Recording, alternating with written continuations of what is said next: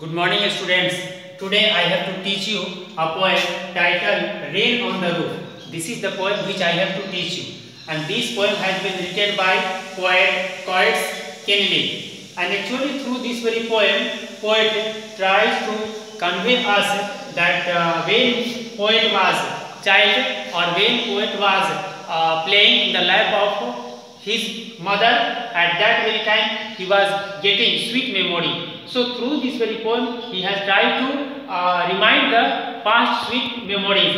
And here poet is telling that when at night uh, the water water starts to fall from the sky uh, towards the ground then it this situations becomes very very pleasant. And uh, poet was sleeping at night in his house and when uh, the sound created by the droplet of uh, rain uh, starts then at that time he was feeling very very happy he was feeling very very comfortable because rain is the requirement of uh, human beings animals, plants, even organisms for everybody. The rain is very very essential.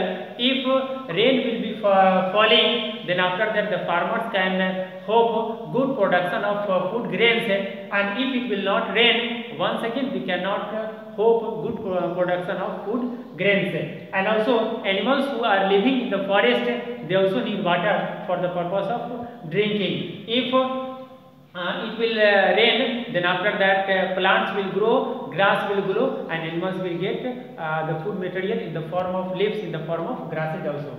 So here author has uh, expressed his past memories. When author was a child his mother was trying to make him sleep uh, singing singing a song based on rain. So through this very poem only the past memory has been expressed this is from my side.